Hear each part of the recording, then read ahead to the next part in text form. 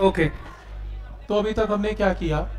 Electrostatic field से हमने start किया था, इलेक्ट्रोस्टैटिक फ़ील्ड। इलेक्ट्रोस्टैटिक फ़ील्ड में हमने ये डिस्कस किया कि चार्ज के आसपास एक ऐसी जगह, एक ऐसा स्पेस जहाँ पर दूसरा चार्ज अगर रखा जाए तो फोर्स कैन बी एक्सपीरियंस्ड। हम बोलते हैं इलेक्ट्रिक फ़ील्ड प्रेजेंट है।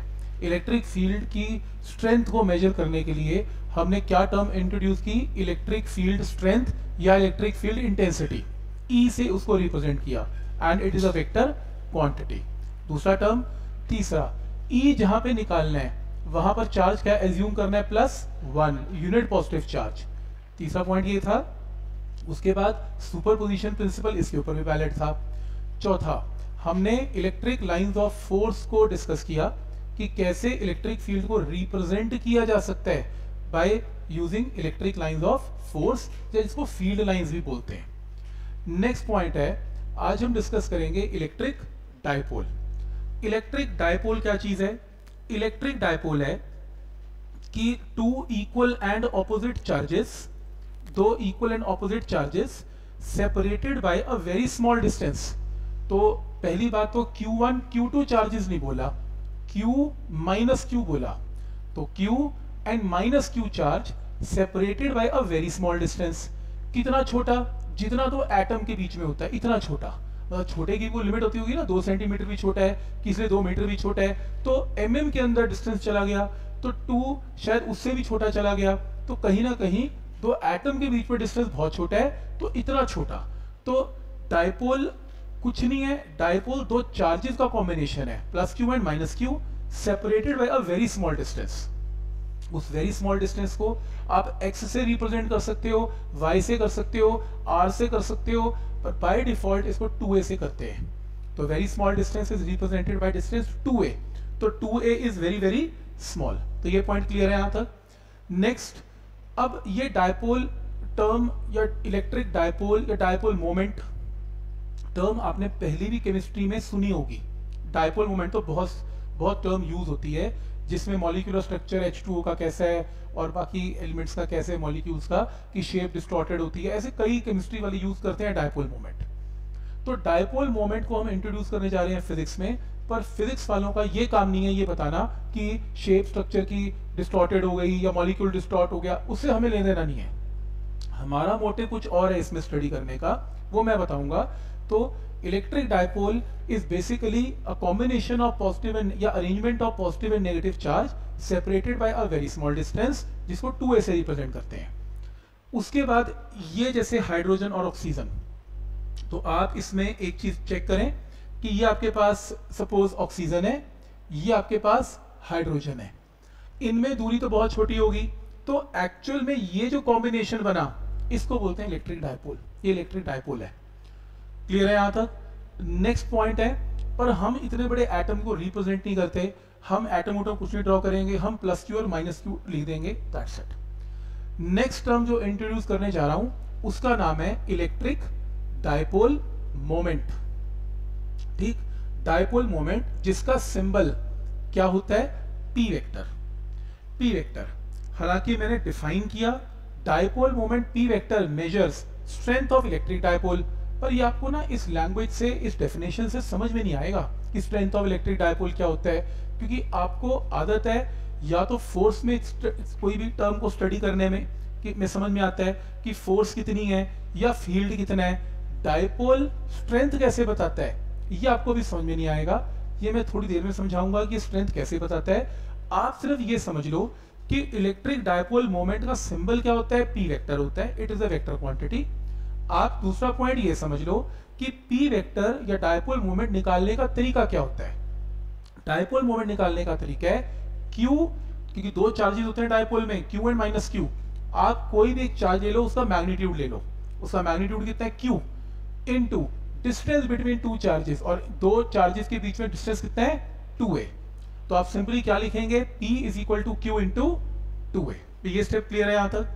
और वेक्टर फॉर्म में लिखेंगे P vector is equal to Q into two A vector तो ये स्टेप भी क्लियर है यहाँ तक। अब पी वेक्टर क्योंकि वेक्टर है, इसकी कोई डायरेक्शन भी होती होगी। इसकी डायरेक्शन याद रखना is always from negative to positive charge मतलब अगर मैं कोई डायपोल ड्रॉ करूँ, जैसे ये माइनस क्यू और ये प्लस क्यू तो डाइपोल मोमेंट का जो वेक्टर बनेगा, वो हमेशा नेगेटिव से कहाँ बनेगा? पॉजिटिव बनेगा। जबकि इलेक्ट्रिक फ़ील्ड हमने लास्ट टाइम स्टडी किया था ई वेक्टर ई वेक्टर कहाँ से कहाँ बनता है? पॉजिटिव से नेगेटिव बनता है. क्लियर है यहाँ तक? तो पी वेक्टर की direction negative to positive electric field की डायरेक्शन पॉजिटिव से नेगेटिव ये पॉइंट भी क्लियर है यहाँ तक? नेक्स्ट जो पॉइंट है इसमें नेक्स्ट पॉइंट इसके यूनिट्स चार्ज के यूनिट क्या होंगे? कूलम डिस्टेंस के यूनिट क्या होंगे? मीटर तो क्या बना? Coulomb metre. ये पॉइंट भी क्लियर है यहाँ तक? नेक्स्ट है। डायपोल फ़ील्ड क्या होता है? डायपोल तो पता लग गया क्या होता है? डायपोल फ़ील्ड क्या होता है? डायपोल अपने आसपास क्या लगाएगा? इलेक्ट्रिक फ़ील्ड लगाएगा। तो कोई डायपोल के अंदर चार्जेस है और वो अपने आसपास इलेक्ट्रिक फ़ील्ड लगाएगा। वो कितना इलेक्ट्रिक फ़ील्ड लगाएगा किसी पॉइंट पे? उसको डायपोल का फ़ील्ड बोलते हैं। डायपोल फ़ील्ड तो डायपोल फ़ील्ड कोई नई टर्म नहीं है। डायपोल के आसपास एक ऐसा पॉइंट जहाँ पर वो फ़ील्ड लगाएगा, उसको डायपोल फ़ील्ड बोलते हैं। और डायपोल फ़ील्ड का मतलब ई e निकालना। डायपोल की वजह से किसी पॉइंट पर ई e निकालना, ये डायपोल फ़ील्ड है। तो ये कुछ नहीं है, इसको इसमें से कुछ नहीं आएगा। अब असली चीज़ है। डेरिवेशन जिसे बोलते हैं एनसीआरटी की। क्या डेरिवेशन है? पहली डेरिवेशन है इलेक्ट्रिक फ़ील्ड इंटेंसिटी निकालना। इलेक्ट्रिक फ़ील्ड इंटेंसिटी का सिंबल क्या होता है? ई e निकालना। ई e निकालना ऑन एक्सियल लाइन ये एक्सियल लाइन क्या होती है? एक्सिस की लाइन को एक्सियल लाइन बोलते हैं। On axial line axial line का दूसरा नाम है end on position end on position of electric dipole तो बेसिकली इसमें यह बताया जा रहा है, इसमें यह बताया जा रहा है कि अगर आपके पास एक इलेक्ट्रिक डायपोल है फॉर एग्ज़ाम्पल फॉर एग्ज़ाम्पल आपके पास एक इलेक्ट्रिक डायपोल है ये एक इलेक्ट्रिक डायपोल है minus Q and plus Q ठीक सेंटर है टोटल डिस्टेंस डायपोल का टू ए तो आधा डिस्टेंस कितना? ए आधा डिस्टेंस कितना? ए ये भी क्लियर है यहाँ तक ए एंड ए क्लियर है। नेक्स्ट पॉइंट है, इस एक्सिस के ऊपर अगर मैं इसे एक्सटेंड कर लूँ, कुछ इस तरीके से, ये लाइन को मैंने एक्सटेंड कर लिया एंड इस एक्सिस के ऊपर अगर मैं कोई पॉइंट लेता हूँ, कितना? P और मैं आपसे ये पूछता हूँ कि मुझे यहाँ पर ई बताओ क्या होगा। किसकी वजह से? माइनस क्यू की वजह से एंड प्लस क्यू की वजह से। तो ई की वैल्यू क्या होगी? तो इस लाइन को क्या नाम देते हैं? कौन सी लाइन है? एक्सिस की लाइन। एक्सिस की लाइन को क्या बोलते हैं? Axial line. ये पॉइंट भी क्लियर है यहाँ तक कि एक्सीएल लाइन किसे बोलते हैं? तो this is known as axial line next point है इसमें कि इसके ऊपर आपको ई e निकालना है। रूल क्या है? जहाँ ई e निकालना है, वहाँ चार्ज क्या एज्यूम करना है? प्लस वन और सारे डिस्टेंसेस डायपोल के कहाँ से लिए जाते हैं? फ्रॉम सेंटर ऑफ़ डायपोल ये रूल है। कॉर्नर से नहीं लिए जाते सेंटर से लिए जाते हैं। तो सेंटर से इसकी दूरी कितनी है? आर सेंटर से ये दूरी कितनी है? आर तो आपको आर डिस्टेंस पे क्या निकालना है? ई e निकालना है। क्या पॉइंट क्लियर है यहाँ तक? तो अब आपको ये बेसिक रूल तो पता ही है। क्या? कि अगर ये क्यू इस प्लस वन को अपने से दूर क्या करेगा? रिपेल। तो ये इसके ऊपर ई e लगाएगा। और ये माइनस क्यू इस प्लस वन को अपने से पास क्या करेगा? अट्रैक्ट तो एक ई e कौन लगाएगा? प्लस क्यू एक ई कौन लगाएगा? माइनस क्यू ए क्या करेगा? रिपेल ए क्या करेगा? अट्रैक्ट तो अगर मैं ये दोनों ई e की वैल्यू बता दूँ तो एक वेक्टर राइट है, एक लेफ़्ट है। नेट वेक्टर निकालने के लिए क्या करना पड़ेगा? दोनों को सब्ट्रैक्ट ऑब्वियसली दोनों क्या होंगे? सब्ट्रैक्ट होंगे। बड़ी वैल्यू में से छोटी वैल्यू को हम क्या करेंगे? माइनस तो नेट ही कैन बी कैलकुलेटेड तो क्या ये पॉइंट समझ में आ रहा है? लॉजिक समझ में आ रहा है। तो डेरिवेशन तो कुछ है ही नहीं। बेसिकली तो न्यूमेरिकल हो गया। हम रोज न्यूमेरिकल करते ही तो है इलेक्ट्रिक फ़ील्ड के। तो डेरिवेशन कुछ नहीं है। ये बेसिक न्यूमेरिकल है। इस न्यूमेरिकल को सोल्व करते हैं। तो देखो जरा, इसके अंदर क्या किया हुआ है?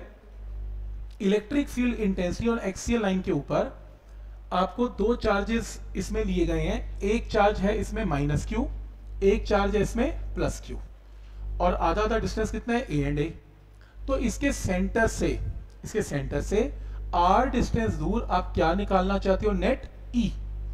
ये भी क्लियर है यहाँ तक? तो जहाँ ई e निकालना है, वहाँ चार्ज प्लस वन होगा। ये पॉइंट भी क्लियर है यहाँ तक? नेक्स्ट है। अब ई e निकालने के लिए ये रूल लगाएँगे। क्या रूल लगाएँगे?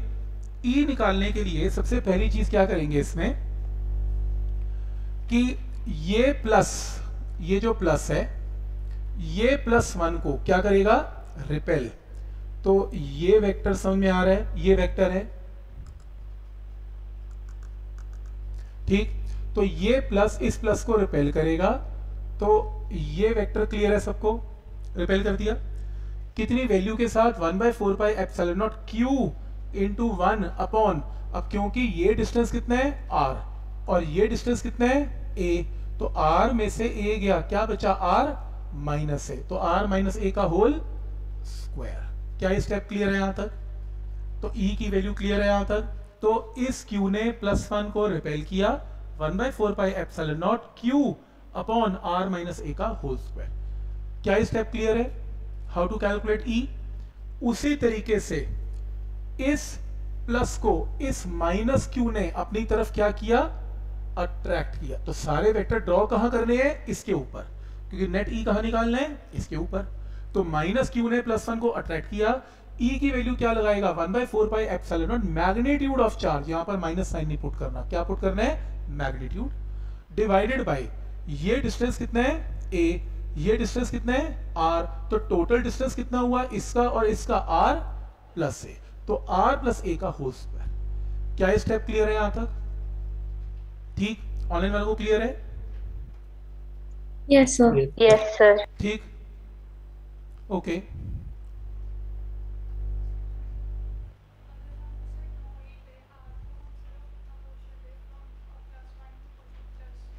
फिर से बोलो अगर हम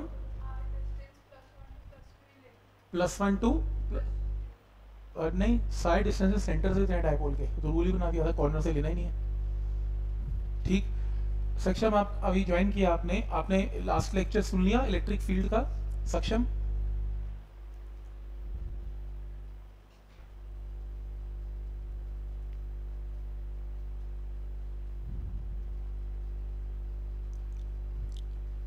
सक्षम लास्ट लेक्चर सुना आपने? यस सर इलेक्ट्रिक फ़ील्ड सुन के आए हो ना? यस सर यस ठीक है ओके ठीक है ठीक है. तो देखो इसमें बेसिक रूल यही है कि अगर आपके पास कोई भी डायपोल है, डायपोल का मतलब plus Q minus Q separated by two A तो आपने सारे डिस्टेंसेस को कहाँ से लेना है? फ्रॉम सेंटर ऑफ़ डायपोल तो सेंटर ऑफ़ अब ऐसे तो ये डिस्टेंस टू ए लेते हैं, भाई टू ए क्यों लेते हैं? एक्स ले लो वाई ले लो ए ले लो A by two A by two ले लो, जो मर्ज़ी लो, पर बाय डिफ़ॉल्ट क्या लिया जाता है इसमें? टू ए हम भी टू ए ले रहे हैं। डिस्टेंस सेंटर से लेने हैं। तो इस सेंटर से आर डिस्टेंस पे हमने ई e निकालना है तो चार्ज यहाँ पर प्लस वन एज्यूम कर लिया। तो इसमें क्या किया उसके बाद? इस प्लस क्यू ने इस प्लस वन को रिपेल कर दिया। तो बाई ई की वैल्यू क्या लगाई? One by four by F naught Q divided by R minus A क्योंकि ये डिस्टेंस आर है। ये डिस्टेंस कितना है? ये ए है। तो ये वाला डिस्टेंस बचा हुआ कितना हो जाएगा? आर माइनस ए का होल स्क्वायर भी है। करेक्शन है। करेक्शन तो नहीं, इसमें स्कैन करते बटा हुआ स्क्वायर कर लेना। स्क्वायर कर लेना प्लीज़ उसी तरीके से इस माइनस क्यू ने इस प्लस वन को अट्रैक्ट किया। One by four by F naught magnitude of charge Q divided by R plus A का होल स्क्वायर अब देखने वाली बात यह है कि एक वैल्यू ये रही, एक वैल्यू ये रही। कौन बड़ा? ई e टू बड़ा कि ई e वन बड़ा? न्यूमिनेटर दोनों का सेम है। डिनोमिनेटर जिसका छोटा ई e उसका बड़ा। तो डिनोमिनेटर किसका छोटा? आर माइनस ए क्योंकि ये आर प्लस ए में से आर माइनस ए छोटा है। तो इसका डिनोमिनेटर छोटा तो ई टू की वैल्यू इसकी बड़ी। तो नेट आंसर क्या होगा? E two minus E one तो यहाँ से E two minus E one करते हैं। ये देखो। तो E2 पता है हमें? One by four pi epsilon naught Q divided by R minus A का होल स्क्वायर और E1 भी पता है? One by four pi epsilon naught Q divided by R plus A का होल स्क्वायर क्लियर है यहाँ तक? इन्हें माइनस कर लेते हैं, फिर थोड़ी देर के लिए बंद हो जाती है मैथ स्टार्ट हो जाता है। मतलब यह सोचे फिजिक्स चल रही है। मैथ्स है तो one by four pi epsilon naught Q बाहर आ गया। First term minus second term LCM लिया, a minus B into A plus B A square minus B square का होल स्क्वायर तो ये टर्म इधर चली जाएगी, ये टर्म इधर चली जाएगी, ये रहा। इसे ओपन किया, a प्लस बी का whole square A minus B का होल स्क्वायर तो a plus A square B square two A B A square B square minus two A B open कर दिया। तो यहाँ से आर स्क्वायर से आर स्क्वायर ए स्क्वायर से A square cancel तो ऐड करके क्या आ गया हमारे पास? फोर आ रहे ठीक है, यहाँ तक। अब यहाँ से ध्यान से। अब मैंने क्या किया? इस फोर को, ये जो फोर है, इसको ना टू इंटू टू लिख लिया। कोई फ़र्क नहीं पड़ता। तो उससे क्या हुआ? टू इंटू टू लिखने से। एक टू मैंने आर के साथ लगा दिया। ये देखो टू आर एक टू मैंने ए के साथ लगा दिया। देखो टू ए मल्टीप्लाई करो सेम ही तो आएगा। Two R into two A four R A एक ही बात है। तो ये रीअरेंजमेंट क्लियर है फोर को टू इंटू टू कर लिया इसमें राइट अब नेक्स्ट स्टेप क्या है? क्यों किया? क्योंकि Q इंटू टू ए सबको पता है क्या होता है? P होता है। ये P होता है। Q into two is equal to P तो मेरे पास फॉर्मूला आ गया। एक्सियल लाइन के ऊपर अगर आपके पास कोई पॉइंट है, एक डायपोल की वजह से एक्सियल पॉइंट के ऊपर E की वैल्यू अगर आपको निकालनी है तो ये फॉर्मूला आप रिमेंबर कर सकते हैं, याद कर सकते हैं। इस फॉर्मूले में E की वैल्यू किस टर्म में निकाली in terms of dipole moment P. P. जितना बड़ा चार्ज होगा, अब सोचो, जितना बड़ा चार्ज होगा चार्ज की वैल्यू अगर ज़्यादा होगी चार्ज की वैल्यू अगर बड़ी होगी तो P क्या होता है? Q इंटू टू ए तो अगर चार्ज बड़ा होगा तो डायपोल मोमेंट भी बड़ा होगा। और अगर डायपोल मोमेंट बड़ा होगा तो उसकी वजह से इलेक्ट्रिक फ़ील्ड भी बड़ा होगा। तो डायपोल मोमेंट को कैसे डिफाइन किया था? ये स्ट्रेंथ बताता है इलेक्ट्रिक डायपोल की। क्योंकि जितना बड़ा डायपोल मोमेंट होगा, उतना ही बड़ा वो इलेक्ट्रिक फ़ील्ड लगाएगा। उतनी बड़ी उसकी क्या होगी? स्ट्रेंथ होगी। तो एक अगर डायपोल गिवन है, Q and minus Q Q and minus Q के कॉम्बिनेशन को डायपोल बोलते हैं तो एक डायपोल गिवन है और कोई पूछे कि कि इलेक्ट्रिक फ़ील्ड इसका बड़ा होगा तो ठीक है, आप ऐसे बोल सकते हो, इसका इलेक्ट्रिक फ़ील्ड बड़ा होगा, मैं समझ जाऊँगा स्ट्रॉन्ग चार्जेस हैं। चार्जेस बड़े होंगे तो भी समझ जाऊँगा कि इलेक्ट्रिक फ़ील्ड बड़ा होगा। आप दोनों नहीं बोलना चाहते, आप ये बोलना चाहते हो कि डायपोल मोमेंट बड़ा है, मैं तब भी समझ जाऊँगा कि कहीं ना कहीं चार्जेस बड़े हैं, जिस वजह से इलेक्ट्रिक फ़ील्ड भी बड़ा है। अब फिर आप कहोगे कि इसको इंट्रोड्यूस करने का फ़ायदा क्या है? आप सीधे ही कैलकुलेट कर देते पी को बीच में लाने की ज़रूरत क्या थी, हम क्यू और ए और आर के साथ काम कर ही रहे थे। तो पी की टर्म में इसलिए ज़रूरत पड़ जाती है क्योंकि कहीं ना कहीं वो केमिस्ट्री बीच में आ जाती है और कहीं ना कहीं वो स्ट्रक्चर के बारे में उसका डायपोल मोमेंट क्या होगा, बहुत सारी चीज़ें इसके ऊपर डिपेंड करती हैं। तो ज़रूरी नहीं है कि अब हर कोई चार्ज के साथ डायपोल के साथ ई ही निकालेगा। तो इंटरमीडिएट एक स्टेप बना दिया पी तो पी के साथ भी कैलकुलेशन की जा सकती है। पर हमने, हमारी जो फिजिक्स है, ना तो वो स्ट्रक्चर्स को स्टडी करती है, हमारी फिजिक्स ई को ही स्टडी करती है। तो हम अपना काम ई में करेंगे और हमने अपना जो ई का फॉर्मूला है, वो पी की फॉर्म में निकाल लिया तो इतना ही सफिशियंट है हमारे लिए, हम अपना काम ई पे रखेंगे। अब प्रॉब्लम क्या आती है? कैलकुलेशन भाई कैलकुलेशन तो है बड़ी। अब ए तो आर है। फिर मैं कह रहा हूँ A is very very small भाई, अगर ए वेरी वेरी स्मॉल है तो उस केस में क्या होगा? अगर ए बहुत छोटा है, ठीक?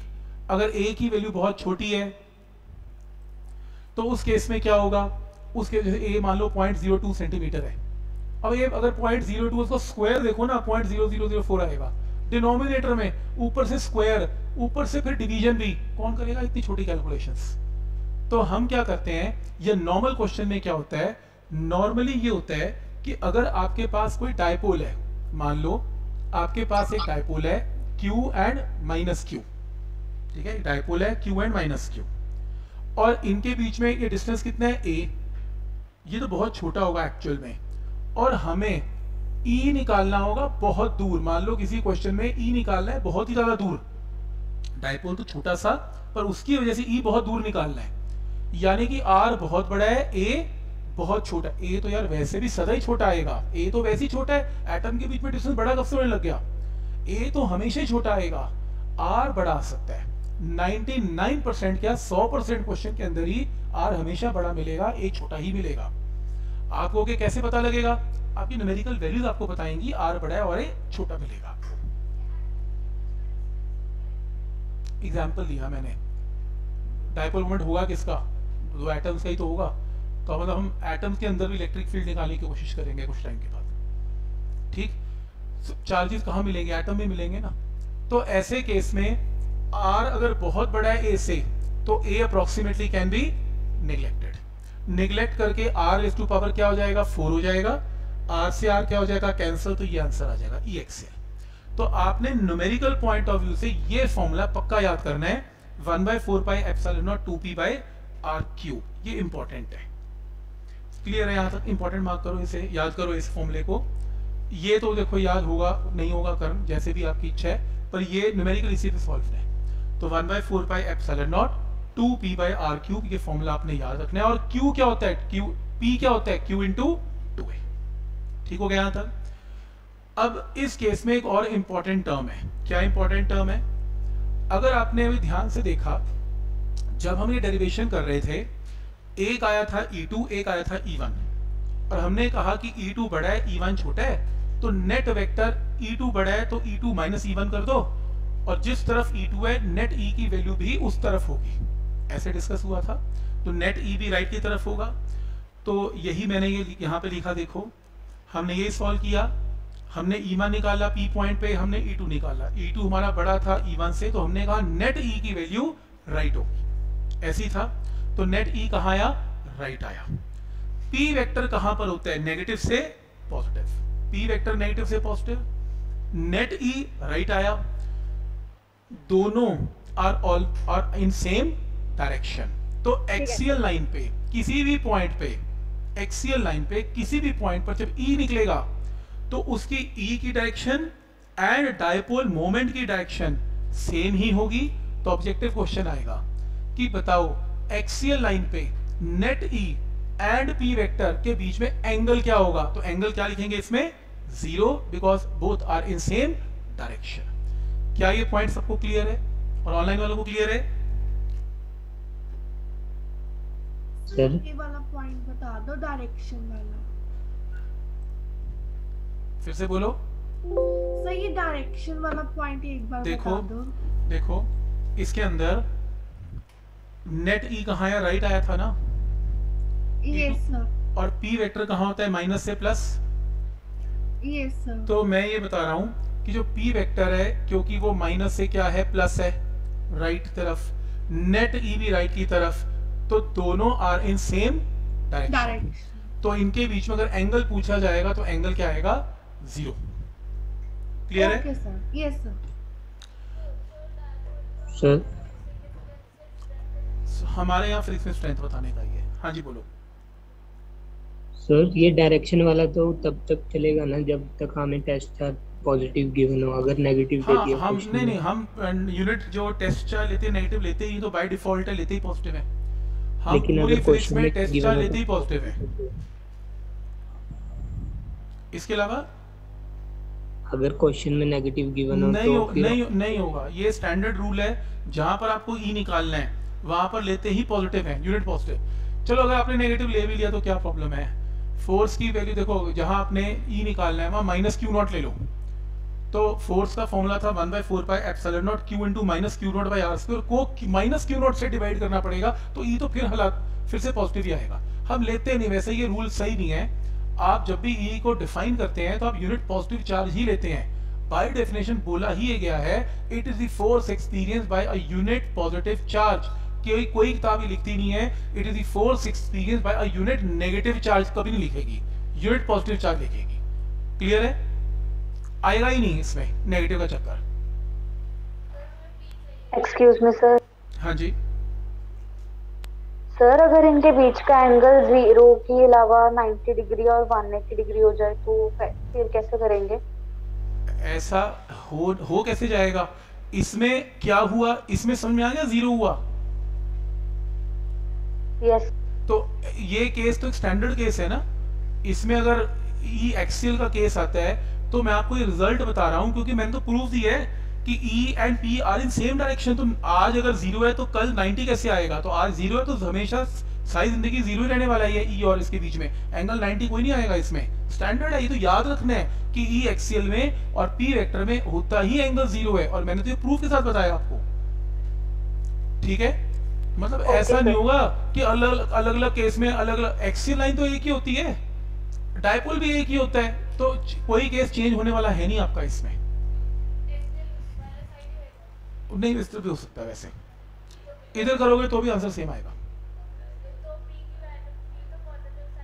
तो जब अगर इधर पॉइंट लोगे तो नेट ई फिर वो भी राइट आ जाएगा। इधर इधर नहीं जाएगा, इधर आता है फिर वो। जब करोगे ना तो नेट ई इधर आएगा। पी के साथ ही आएगा। आपको अगर यहाँ पॉइंट लेना है प्लस वन यहाँ ले लो। माइनस क्यू से अट्रैक्ट करेगा प्लस क्यू रिपेल करेगा माइनस क्यू के पास है वो पॉइंट अफेक्ट ज़्यादा होगा। तो ई वेक्टर फिर इधर ही आएगा। तो ई वेक्टर और पी वेक्टर में एंगल हमेशा ज़ीरो ही बनेगा। ठीक? तो अगर आप, आप बहुत सारे केसेस माइंड में आ रहे हैं तो एक होमवर्क ले लो। आप किसी भी तरीके से एक्सियल लाइन में angle between E vector and P vector non zero prove कर दो। नेक्स्ट टाइम क्लास में करके लाना। केस ले आना एक्सियल लाइन है। लाइन मत चेंज करना। इधर पॉइंट मत लेना। एक्सेल का एक्सिस के ऊपर ही लाइन लेनी है। पॉइंट लेना है। करके देख लेना जो केस में। प्लस वन रख के डायरेक्शन चेक करते रहना। रिज़ल्ट स्टैंडर्ड ही आएगा। Angle between M is zero ठीक? फिर भी किसी को शौक है वो ज़रूर प्रूव करे। अपना टाइम ज़रूर खराब कर, कर सकता है वो इसमें। नहीं आएगा। ज़ीरो ही आएगा। ठीक है? और कुछ? पी पी फिजिक्स वालों का बताना बनता है पी का रोल हमारे यहाँ ज़्यादा है नहीं। फिजिक्स में ज़्यादा है नहीं इलेक्ट्रिक डायपोल्स का। डायपोल बस कॉम्बिनेशन है। आप ऐसा बोल सकते हैं कि जैसे कोई एटम पड़ा हुआ है। कोई एटम या मॉलिक्यूल लिया, एक पॉजिटिव एक नेगेटिव ले लिया, उसको ना इलेक्ट्रिक फ़ील्ड में रख दिया। इलेक्ट्रिक फ़ील्ड में उसके ऊपर फोर्सेस लगी। अभी कुछ टाइम के बाद आएगा फोर्सेस लगी, उसने रोटेट करना शुरू कर दिया। अब टॉर्क निकाल लो किससे वो रोटेट करेगा? अब इसमें ई क्या करेगा? सारा काम पी कर देगा। तो इसलिए पी चाहिए। हम कुछ ऐसी चीज़ें करने वाले हैं जिसमें ई ई एक लंबा प्रोसेस है। पी एक छोटा प्रोसेस है। पी निकालना आसान है। Q into two A E निकालना मुश्किल है। प्लस वन लो इधर वेक्टर उधर वेक्टर निकालना टॉर्क है। उसमें ई चाहिए ही नहीं। उसमें पी चाहिए। काम खत्म।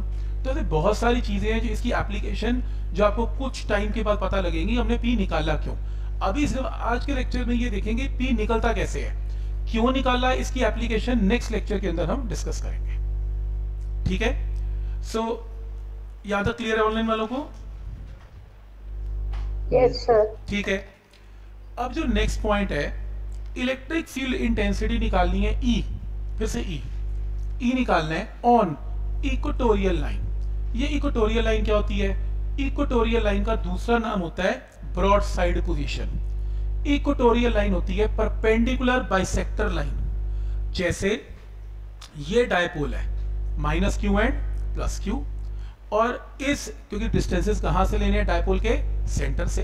तो डायपोल के सेंटर से आर डिस्टेंस परपेंडिकुलर ऊपर तो इस लाइन को क्या बोलते हैं? इक्वेटोरियल लाइन इस लाइन को क्या बोलते हैं? एक्सियल लाइन इसे क्या बोलते हैं? इक्वेटोरियल लाइन तो इक्वेटोरियल लाइन पे आर डिस्टेंस के ऊपर यहाँ पर मुझे ई निकालना है। क्या ये पॉइंट क्लियर है? करने क्या वाले हैं? ऐसा न्यूमेरिकल पिछले कई एक दो क्लासेस में हम ऑलरेडी कर भी चुके हैं, जिसमें एक डायपोल लेते हैं। डायपोल क्या plus Q one Q two की हेल्प से हमने निकाला, वैसे तो याद आ ही जाएगा आपको।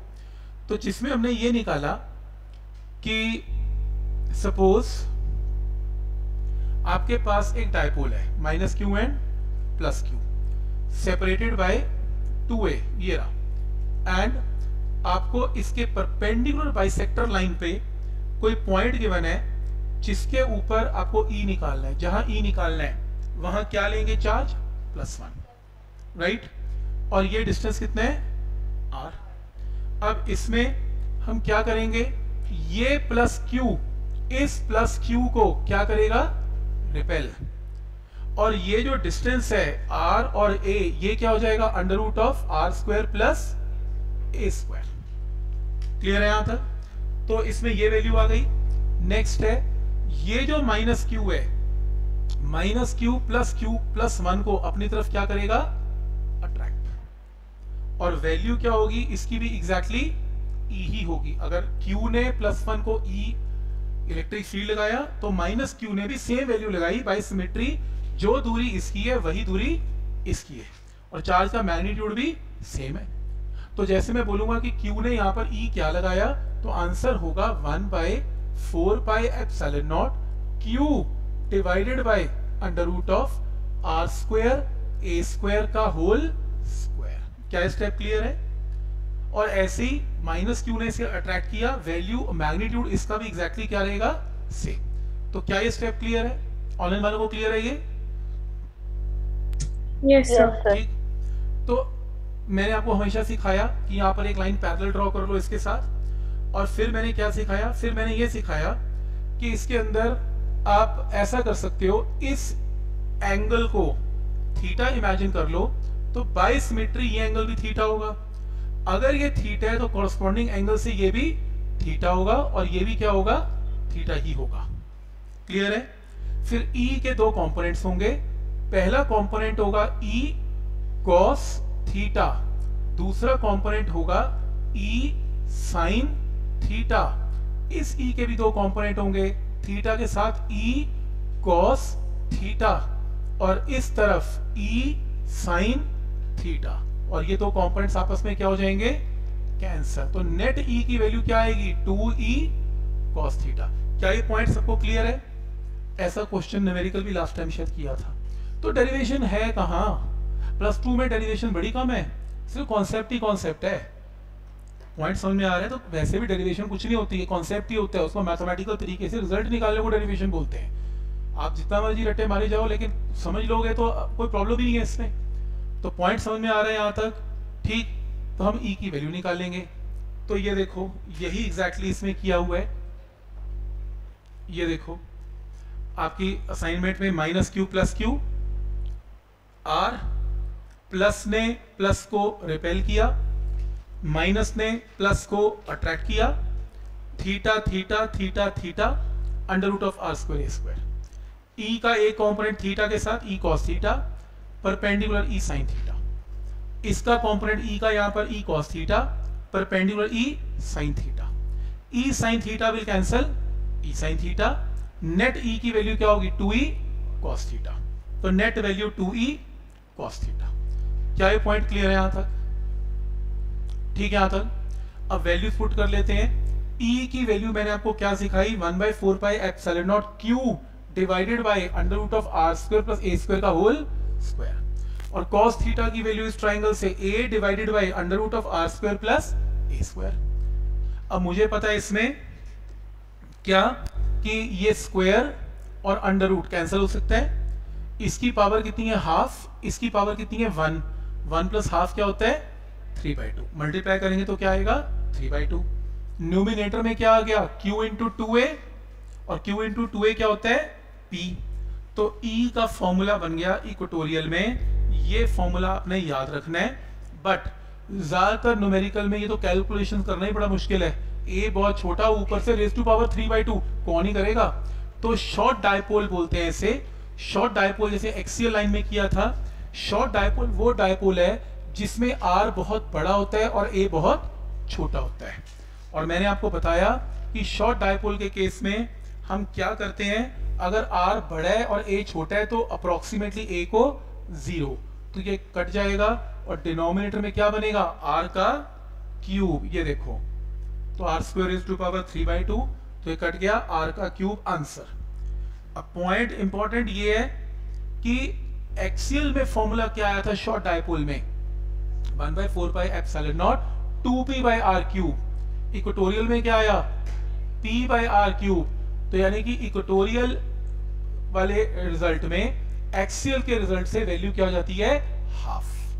तो न्यूमेरिकल बड़ा आसान है। जब दो न्यूमेरिकल आएँगे, एक्सियल निकाल लो, इक्वेटोरियल में हाफ़ कर दो आंसर। तो पॉइंट क्लियर है यहाँ तक। और उससे भी इंपॉर्टेंट रिज़ल्ट अभी जो रिज़ल्ट किया था हमने, उसमें नेट ई क्या निकाला था? Two E cos theta dipole moment की जो डायरेक्शन होती है, वो कहाँ से कहाँ होती है? नेगेटिव से पॉजिटिव और यहाँ पर नेट ई कहा आया? ये तो dipole moment and net E are in opposite direction axial में net E and dipole were in same direction equatorial में they are in opposite direction point clear है यहाँ तक? तो अगर कोई ये पूछे इस टॉपिक में कि बताओ angle between E equatorial net E and dipole moment क्या होगा? तो आंसर क्या होगा? 180 क्या ये पॉइंट क्लियर है? इक्वेटोरियल में पी वेक्टर और नेट ई में एंगल क्या होगा? ज़ीरो। इक्वेटोरियल में नेट ई में और डायपोल मोमेंट में एंगल क्या होगा? 180 क्या ये पॉइंट क्लियर है? ऑनलाइन वालों को क्लियर है? यस सर यस सर ठीक है। अब न्यूमेरिकल्स के लिए हमने याद कर लिया। जब न्यूमेरिकल आएगा तो एक्सियल का formula one by four pi epsilon naught two P by R cube और इक्वेटोरियल का formula one by four pi epsilon naught P by R cube दो रिजल्ट्स क्लियर हैं। तीसरा रिज़ल्ट इलेक्ट्रिक फ़ील्ड इंटेंसिटी निकालो किसी भी point पे due to short dipole short dipole से खुद ही बोल दिया शॉर्ट डायपोल क्या होता है? आर बहुत बड़ा है ए बहुत छोटा है.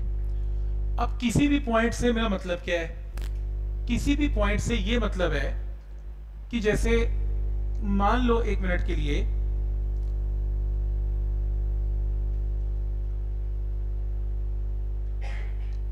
ठीक सपोज़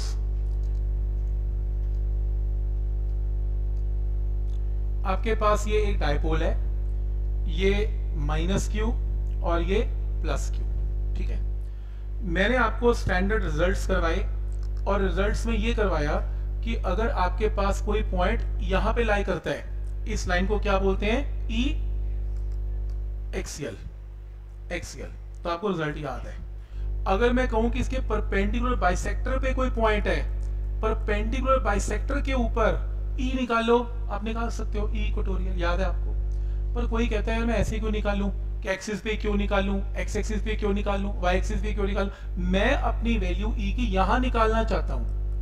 ये लो any point not on X axis not on Y axis such that ये जो पॉइंट है, इसका सेंटर से डिस्टेंस कितना है आर और एंगल कितना है यहाँ से थीटा तो ये अब नेक्स्ट टॉपिक है कि एट एनी पॉइंट ई की वैल्यू निकालो. तो पॉइंट सबको समझ में आ रहा है क्या करने जा रहे हैं? एक्सियल हमने कर लिया इक्टोरियल हमने कर लिया, अब डायपोल के आसपास कोई भी पॉइंट होगा जहाँ पर ई e की वैल्यू को निकालेंगे तो क्या करने जा रहे हैं? ये क्लियर हो गया. ठीक. अब कैसे करना है, इसको एक बार चेक करते हैं। देखो, इसको करने के लिए कुछ रूल है। पहले फ़र्स्ट रूल को एक बार देख लो। रूल ये है कि ये आपके पास मान लो एक माइनस क्यू और ये प्लस क्यू एक डायपोल है राइट ए एंड ए अब इस डायपोल का जो डायपोल मोमेंट होगा वो कहाँ पर होगा? नेगेटिव से पॉजिटिव होगा। मानते हो? Dipole moment is from negative to positive कोई डाउट इसमें? ये पॉइंट भी क्लियर है यहाँ तक। अब प्रॉब्लम ये है कि मेरे को जो वैल्यू निकालनी है ई e की, वो कहा निकालनी है? यहाँ निकालनी है। यहाँ पे निकालनी है। ये भी क्लियर है? मेरा डायपोल मोमेंट इधर जा रहा है। मेरे को अपना क्वेश्चन उधर करना है। तो मैं एक काम करूँगा इसमें। मैं इस डायपोल मोमेंट पी वेक्टर के दो कंपोनेंट्स लूँगा। पहला कंपोनेंट ये लूँगा और दूसरा कंपोनेंट इसके परपेंडिकुलर लूँगा। कैसे? ये पी वेक्टर है, इसका पहला कंपोनेंट है पी कॉस थीटा और ये कंपोनेंट क्या है? पी साइन थीटा क्यों करूँगा? अभी बताऊँगा मैं, ऐसा मैंने क्यों किया? तो मेरे को electric field intensity at any point निकालनी है तो ये माइनस क्यू प्लस क्यू मेरे को आर डिस्टेंस पे यहाँ पर ई e निकालना है at an angle of theta तो मैंने क्या बताया? यहाँ पर मैं पी वेक्टर ड्रॉ करूँगा। थीटा पी के दो कंपोनेंट्स लूँगा। पी कॉस थीटा और पी साइन थीटा कोई डाउट इसमें? ये पॉइंट क्लियर है यहाँ तक? अब क्वेश्चन ये अराइज होता है कि फिर मैं करूँगा क्या आगे? मतलब ठीक है, ये ले लिया मैंने P cos theta P sine theta तो मैं अपनी कैलकुलेशन अब पी के साथ नहीं करूँगा। P cos theta and P sine theta के साथ करूँगा। रेजोल्यूशन ऑफ़ वेक्टर मैं कर चुका हूँ। अब आगे चलने से पहले एक रिज़ल्ट मुझे बताओ। एक रिज़ल्ट इसका लेना देना नहीं है इस टॉपिक से जस्ट वैसे पूछ रहा हूँ। अभी अभी हमने क्या सीखा? कि आपके पास अगर कोई डायपोल मोमेंट है पी वेक्टर और ये मान लो पी वेक्टर है। और अगर कोई पॉइंट इस डायपोल के एक्सिस पे लाई करता है, इस लाइन को क्या बोलते हैं? कि एक्सियल लाइन तो डायपोल की कौन सी लाइन है? एक्सियल लाइन है। क्लियर है यहाँ तक? तो ये इसकी एक्सियल लाइन है। तो एक्सियल लाइन के ऊपर ई e की वैल्यू निकालो शॉर्ट डायपोल के लिए। आपको रिज़ल्ट तो याद ही है। क्या रिज़ल्ट है? ई e एक्सियल की जो डायरेक्शन है, वो किस तरफ़ होगी? पी वेक्टर के अलोंग होगी। क्योंकि एक्सियल लाइन पे E vector and P vector are always in same direction ये तो पता है सबको। और वैल्यू अगर मैं पूछूँगा तो फॉर्मूला भी पता है शॉर्ट डायपोल का कितना? One by four by epsilon two P by R cube कोई डाउट इसमें?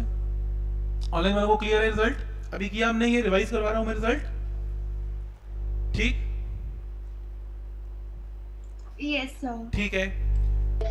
लेकिन अगर मैं थोड़ा सा चेंज कर दूँ अपना क्वेश्चन और ये बोलूँ कि क्वेश्चन सेम है बट डाइपोल मोमेंट की वैल्यू पी नहीं है। पी की जगह पी cos थीटा है। तो बताओ अब इस पॉइंट जो कि इसका एक्सियल लाइन है, यहाँ पर फॉर्मूला चेंज हो जाएगा।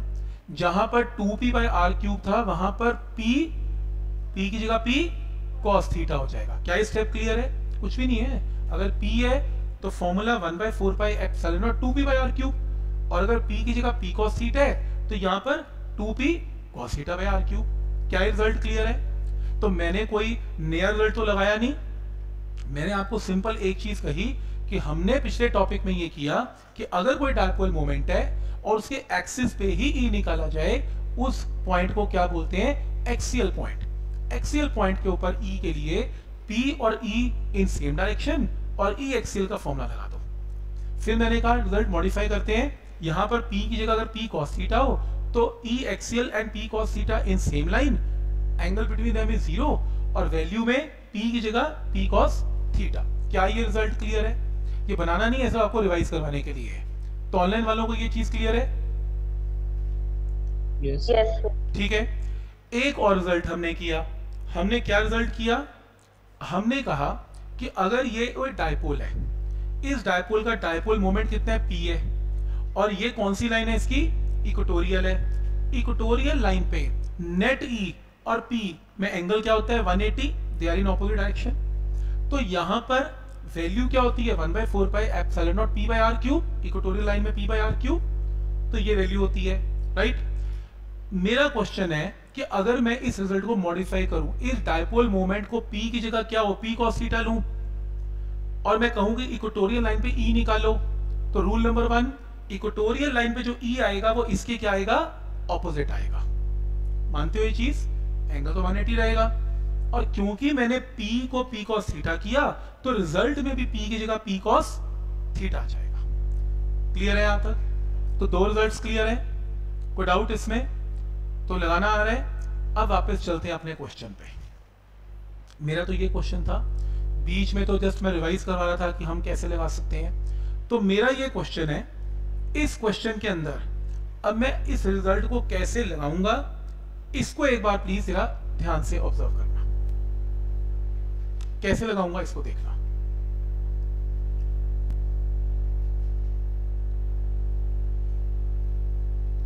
देखो, सबसे पहले मैं यहाँ पर minus Q and plus Q मैंने दो चार्जेस ले लिए minus Q and plus Q point number one point number two मैं यहाँ पर इसके सेंटर से सेंटर से आर डिस्टेंस दूर पी निकालना चाहता हूँ ई निकालना चाहता हूँ, ये पॉइंट आ गया।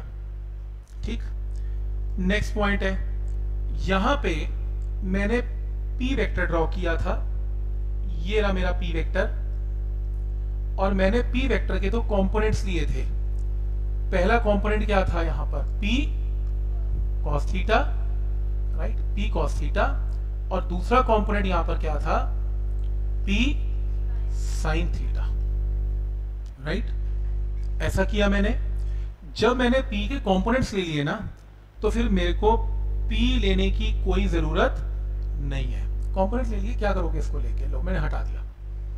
ठीक है? दो वेक्टर ले तो लिए। दो मिनट के लिए मैं इसको भी हटा रहा हूँ। इसको भी हटा रहा हूँ मैं। ये लो। और मैं इसको भी हटा रहा हूँ। इसको भी हटा रहा हूँ। ये भी मैंने हटा दिया। और फाइनली ये भी आपके सामने क्या बच गया? P cos theta P cos theta पे आपको यहाँ पर E निकालना है। तो सबको पता है कि P cos थीटा के ऊपर एक्सिस के ऊपर कोई पॉइंट लाई करते हैं, उस पॉइंट को क्या बोलते हैं? कौन सी लाइन है? एक्सियल लाइन है। तो डायरेक्शन क्या बनेगी? डायरेक्शन ये बनेगी ई एक्सियल की, क्योंकि E axial and dipole moment are in same direction तो क्या ये पॉइंट क्लियर है यहाँ तक? ठीक है? और वैल्यू क्या बनेगी? One by four by epsilon naught two P cos theta by R cube क्या स्टेप क्लियर है? कोई डाउट इसमें। समझ में आ रहा है यहाँ तक? सेम रिज़ल्ट लगाया ना मैंने कुछ भी नहीं है। अपने उसी रिज़ल्ट में सब कुछ हटा दिया। हटा के बस ये चीज़ रख ली क्लियर है? ठीक है यहाँ तक? अच्छा यहाँ तक कोई डाउट ऑनलाइन वालों को?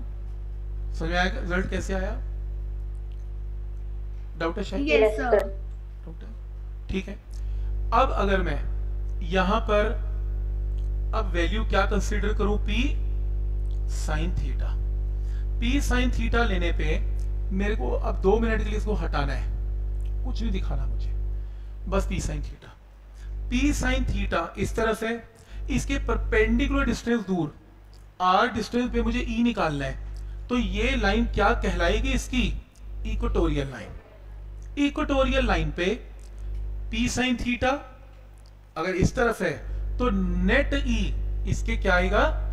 ऑपोजिट आएगा, क्योंकि इक्वेटोरियल में पी और E are in opposite direction इस वैल्यू क्या बोलेंगे? ई इक्वेटोरियल और ई इक्वेटोरियल की वैल्यू क्या होगी? One by four by epsilon naught P P नहीं P sine theta by R cube क्या स्टेप क्लियर है? तो ए क्या आ गया? ई एक्सियल ए का आ गया ई इक्वेटोरियल कोई डाउट इसमें. बोलो। इक्वेटोरियल में ये पी साइन थीटा है। पी साइन थीटा के परपेंडिकुलर डिस्टेंस आर है। तो ये वही क्वेश्चन ही होगा अभी जो ड्रॉ किया था। अगर ये पी साइन थीटा है, ये इक्वेटोरियल लाइन है, ये इक्वेटोरियल पे पॉइंट है तो इक्वेटोरियल की वजह से जो नेट ई आएगा, वो इसके क्या आएगा? ऑपोजिट में आएगा। वन रेफ हाँ पी पहले पी कॉस थीटा का रिज़ल्ट लगा दिया, अब पी साइन थीटा का रिज़ल्ट लगाएँगे। पॉइंट तो वही है। पहले पी कॉस थीटा के लिए वो पॉइंट एक्सियल पॉइंट है। पी साइन थीटा के लिए वो पॉइंट इक्वेटोरियल पॉइंट है। क्योंकि वो परपेंडिकुलर हो गया उस लाइन के साथ। तो ये दो वेक्टर आपस में 90 डिग्री पे हैं। तो नेट ई क्या होगा? Under root of E axial का स्क्वायर प्लस ई इक्वेटोरियल का स्क्वायर तो पॉइंट समझ में आ रहा है कि क्या करना है? मतलब आपने पहले पी वेक्टर लेना है। वापस चलते हैं एक मिनट ये देखो, यहाँ समझ में आएगा। ये देखो। आपने पहले पी वेक्टर लेना है। पी वेक्टर के दो कंपोनेंट्स ले लेने हैं। P cos theta P sine theta एक बार कंट्रीब्यूशन यहाँ पर पी कॉस थीटा का लगाना है। एक बार कंट्रीब्यूशन यहाँ पर पी साइन थीटा का लगाना है। दो ई आ जाएँगे, दोनों का वेक्टर सम लेना है। तो जब पेपर में आएगा तो आपने ये डायग्राम ड्रॉ करना है, ये नहीं करना। लिख लेना इस पे नोट एग्ज़ाम में नहीं लिखना आपने। नोट लिखना, पता नहीं, ये भी ड्रॉ करने बैठ गए। किसी काम के नहीं है। ठीक है, लिख लेना। नॉट फॉर एग्ज़ाम ये वाले डायग्राम्स अब ये ये करना है ड्रॉ या अकेला यही ड्रॉ कर दो तो भी चलेगा। अकेला ये ड्रॉ कर दो, बस सफिशिएंट है एक एक डायग्राम बुक्स में ये बना एनसीईआरटी में। क्या? Minus Q plus Q clear dipole moment P clear P के दो components clear P cos theta के लिए ई एक्सियल क्लियर क्योंकि पी कॉस थीटा के लिए ई वेक्टर सेम डायरेक्शन में है। ई एक्सियल का formula one by four by epsilon naught two P cos theta by R cube फिर E P sine theta P sine theta के लिए यही point E equatorial E equatorial में ये दोनों वेक्टर ऑपोजिट डायरेक्शन में। तो one by four by epsilon naught P sine theta by R cube clear है यहाँ तक? नेट ई निकालने के लिए पैलोग्राम और दो वेक्टर आपस में 90 डिग्री पे हैं तो नेट आंसर क्या आएगा? Under root of E axial का स्क्वायर प्लस ई इक्वेटोरियल का स्क्वायर कोई डाउट इसमें? पॉइंट क्लियर है यहाँ तक? ऑनलाइन वालों को क्लियर है? यस सर ठीक। तो ई एक्सियल का फॉर्मूला हमने निकाला। One by four by epsilon naught two P cos theta by R cube E equatorial का निकाला, one by four by epsilon naught P sine theta by R cube. यहाँ से common निकाल लो, क्या कॉमन आएगा इसमें? One by four by epsilon naught P R cube. ये सब कॉमन आ गया इसमें। तो ये आ गया, और ये ना पी गलती से हटा दो इसे, पी। बाहर आ चुका कॉमन, ये पी नहीं आएगा। पी नहीं आएगा, करेक्शन है यहाँ ये पी हटा दो।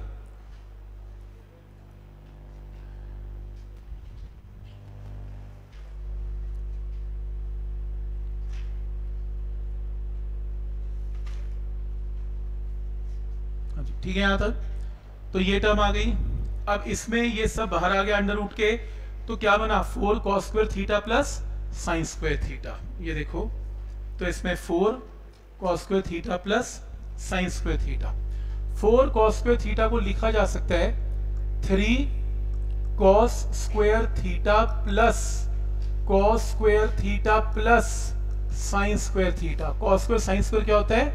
वन तो आपके पास ये नेट ई की वैल्यू आ जाएगी। पॉइंट क्लियर है यहाँ तक? तो नेट ई की वैल्यू आ गई। राइट तो ये यहाँ तक रिज़ल्ट क्लियर है।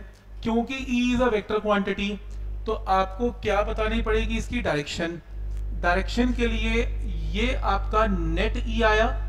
नेट ई आया। तो ये राइट एंगल ट्राइंगल ले लेंगे। ये ई एक्सियल है और ये ई इक्वेटोरियल है।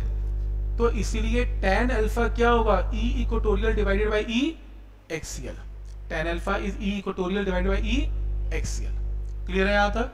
तो parallelogram law of vector addition से tan ऑफ़ अल्फ़ा क्या आएगा? E equatorial by E axial equatorial का फॉर्मूला पता है? एक्सियल का फॉर्मूला पता है? टर्म्स कैंसिल हो जाएँगी, ये आंसर आ जाएगा. क्लियर है यहाँ तक? और इसमें ये डायरेक्शन की वैल्यू आ गई. साइन और कॉस जब हमने कंपोनेंट्स लिए थे तो हमने कंपोनेंट्स का काम किया है। इसके साथ काम नहीं किया ना। तो इसलिए एक्सियल में पी कॉस थीटा इक्वल में पी साइन थीटा ठीक है यहाँ तक? अब ये फॉर्मूला सही है या नहीं सही इसको देख लें। आप इमेजिन करें कि अगर मैं इसमें एंगल थीटा ज़ीरो ले लूँ देखो अगर थीटा की वैल्यू ज़ीरो हो जाए तो ये पॉइंट पी कहाँ लाई करेगा? यहाँ लाई करेगा। कौन सी लाइन है? एक्सियल लाइन है। और उसी तरीके से अगर यहाँ पे लाई करेगा तो थीटा क्या होगा? 90 कौन सी लाइन हो जाएगी? इक्वेटोरियल हो जाएगी। तो आप एक काम करें वेरिफिकेशन कर लें। अगर थीटा ज़ीरो है तो पॉइंट कहाँ पर आ जाएगा? एक्सियल पे आ जाएगा। एक्सियल पॉइंट पे जब थीटा को ज़ीरो पुट करेंगे कॉस ज़ीरो क्या होता है? One. Three plus one, four. Four का अंडर रूट टू। तो ये आ गया तो बिल्कुल सही है एक्सेल का फॉर्मूला बाहर आ गया। और उसी तरीके से अगर इक्वेटोरियल का चेक करना है तो थीटा को पुट करें 90 cos 90 क्या होता है? ज़ीरो इक्वेटोरियल का तो इसका मतलब जो हमने फॉर्मूला ड्राइव किया उस फॉर्मूले से हमने एक्सियल और इक्वेटोरियल भी वेरीफाई कर दिया। इसका मतलब हमारा फॉर्मूला एब्सोल्युटली करेक्ट है। तो पॉइंट क्लियर है यहाँ तक? एक्सियल इक्वेटोरियल और एनी पॉइंट समझ में आ रहा है कि ड्राइव कैसे करना है इसमें? क्लियर तो ऑनलाइन वालों को क्लियर है? सर। बोलो। सर वो जो हमने वो कॉस स्क्वायर थीटा को कैसे थ्री स्क्वायर थीटा लिखा वो बता दो। ये क्लियर था? ये सर इसके बाद वो जो थ्री फोर कॉस स्क्वायर को लिखा three cos square plus cos square okay sir और cos square plus sine square one ठीक है? यस सर यस ठीक है। ओके ठीक है, यहाँ तक। बोलो। अगर डेरिवेशन आएगी तो ये सारी करनी है, ये यहाँ तक तो करनी करनी है। ये करनी चेक करने की ज़रूरत ही नहीं है। चेक क्या करना है? बस ये कर दो और ये डायग्राम बना दो। सफिशेंट बस।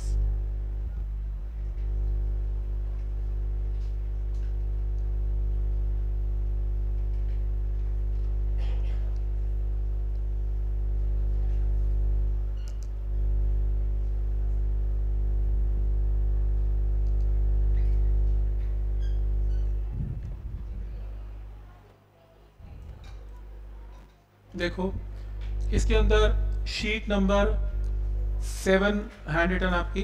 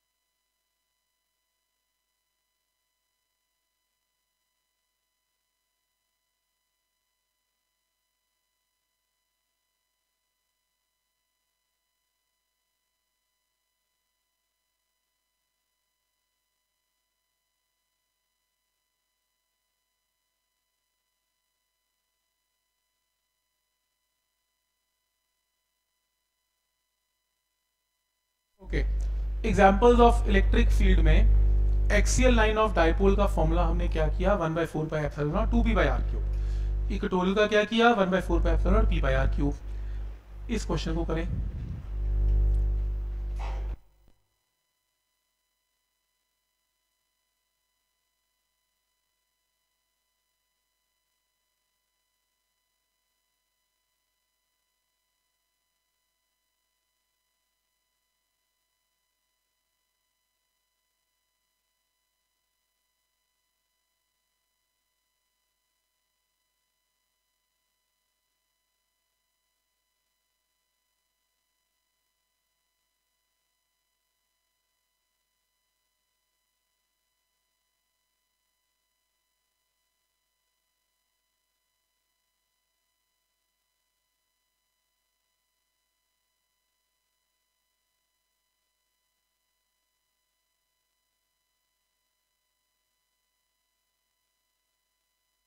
Two charges 20 and minus 20 are held 1 centimeter apart. तो 20 and minus 20 देखते ही समझ में आ रहा है कि इलेक्ट्रिक डायपोल है। एंड सेपरेटेड बाय 1 सेंटीमीटर का मतलब ये डिस्टेंस क्या है? 2a 2a तो a क्या हुआ? 0.5 और 0.5 आपको इक्वेटोरियल लाइन 50 सेंटीमीटर ऊपर ई निकालना है। तो फॉर्मूला किसका लगेगा? E इक्वेटोरियल का। तो E इक्वेटोरियल का फॉर्मूला लगा लेना। One by four pi epsilon naught P divided by R cube और पी क्या होता है? क्यू इंटू टू ए तो यानी कि nine into ten raise to power nine into charge कितना है? Twenty microcoulomb into two A two A कितना है? वन सेंटीमीटर मीटर में कन्वर्ट करना है। आर कितना है? Fifty centimetre into ten raise to power minus two का होल क्यूब आंसर क्लियर है यहाँ था कि कैसे फॉर्म लगेगा इसमें? वो डायग्राम में 0.05 है इतना। 0.0 0.05 आएगा? मीटर में म- मैं समझा नहीं कहाँ पर? यहाँ पे? ये कह रहे हो? ए नहीं मीटर में मीटर में पॉइंट फाइव इंटू टेन की पावर माइनस टू मैंने कर लिया ना जो आर है फिफ्टी सेंटीमीटर है ना तो जैसे फिफ्टी सेंटीमीटर को मीटर में कन्वर्ट किया फिफ्टी इंटू टेन की पावर माइनस टू हम आप डेसिमल लगा लो जो लगाने हैं। ठीक है ना? क्या पॉइंट क्लियर है? फिर ये क्वेश्चन कैसे पता चलेगा कि शॉर्ट डायपोल का गिवन क्वेश्चन लॉन्ग डायपोल का एक्चुअल डायपोल का होने होने नहीं आपसे सॉल्व वो कैलकुलेशन इतनी बड़ी है। पहली चीज़, दूसरी चीज़, इसमें आर कितना है? 50 सेंटीमीटर ए कितना है? सिर्फ़ एक से पॉइंट फाइव सेंटीमीटर आपको वैसे ही नज़र आ रहा है कि आर बहुत बड़ा है ए से। अच्छा चलो, आप डायपोल नहीं समझ पाए शॉर्ट है। आपने लॉन्ग से कर दिया, पूरा सही तरीका। तब भी आपके आंसर में ज़्यादा फ़र्क नहीं आने वाला। मुश्किल से पॉइंट थ्री की जगह पॉइंट टू वो भी शायद। बहुत फ़र्क नहीं आएगा, बहुत छोटी कैलकुलेशन है। तो आप शॉर्ट डायपोल के लिए ही न्यूमेरिकल सॉल्व करो। बड़े उसके लिए नहीं कर पाओगे। पॉइंट समझ आ रहा है यहाँ तक? ए तो सदा ही छोटा रहेगा, बोल तो रहा हूँ। सारे डायपोल के क्वेश्चन शॉर्ट डायपोल से हो जाने हैं। ठीक? इसको करो।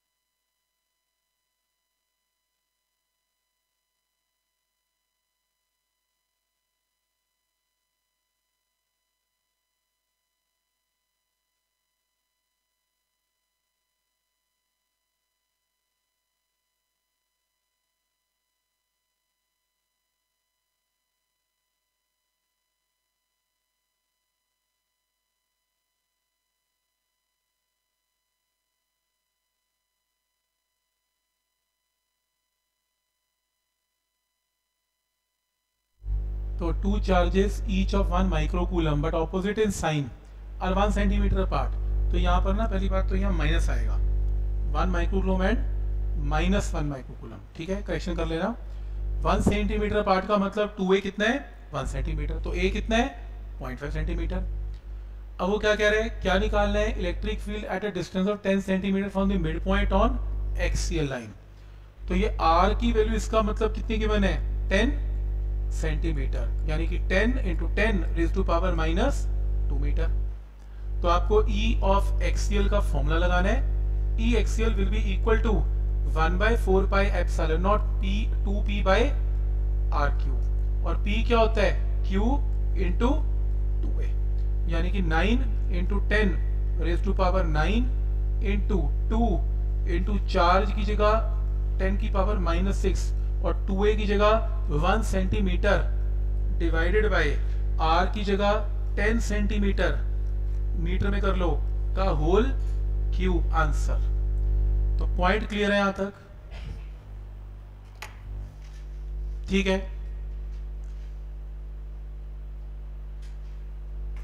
ठीक है। आंसर सब कुछ मीटर और ऐसे में रखना है। क्योंकि one by four pi epsilon naught S में किया हुआ है नाइन इंटू नाइन तो एस में रखना है सब कुछ। वैसे ई e के यूनिट्स होते क्या हैं? फोर्स पर यूनिट चार्ज न्यूटन पर कूलम आता है इसका आंसर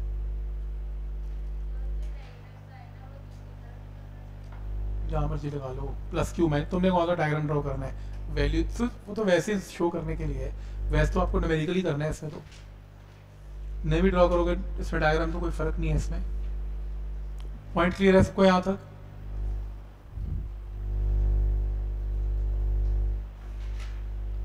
ओके नेक्स्ट पॉइंट को समझते हैं.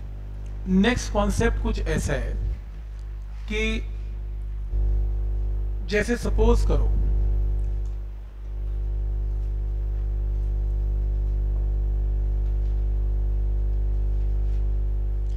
जैसे सपोज़ आपके पास एक इलेक्ट्रिक फ़ील्ड प्रेजेंट है। इलेक्ट्रिक फ़ील्ड प्रेजेंट है प्लस एंड माइनस ठीक? सबको पता है कि इलेक्ट्रिक फ़ील्ड को रिप्रेजेंट करने के लिए क्या ड्रॉ करेंगे? इलेक्ट्रिक लाइंस ऑफ़ फोर्स ठीक है? इलेक्ट्रिक फ़ील्ड प्रेजेंट है इसमें। अब इलेक्ट्रिक फ़ील्ड मान लो इसमें यूनिफॉर्म है। यूनिफॉर्म का मतलब ई e की वैल्यू पूरी जगह पर कांस्टेंट है। मेरा पहला क्वेश्चन है कि अगर मैं यहाँ पर कहीं पर कोई पॉजिटिव चार्ज रख दूँ तो वो फोर्स एक्सपीरियंस करेगा। कहाँ जाएगा? लेफ़्ट की राइट राइट जाएगा टुवर्ड्स नेगेटिव चार्ज और कितनी फोर्स एक्सपीरियंस करेगा? ई e क्या होता है? एफ़ बाई क्यू एफ़ क्या होता है? क्यू इंटू तो कितनी फोर्स एक्सपीरियंस करेगा? F is equal to Q into कहा? टूवर्ड्स राइट और अगर मैं यहाँ पर नेगेटिव चार्ज रखूँ तो कहाँ अट्रैक्ट होगा? टूवर्ड्स पॉजिटिव तो कितनी फोर्स एक्सपीरियंस करेगा ये भी?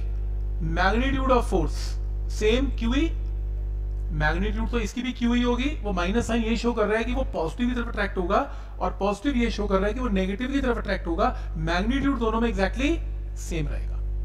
क्लियर है? सही है?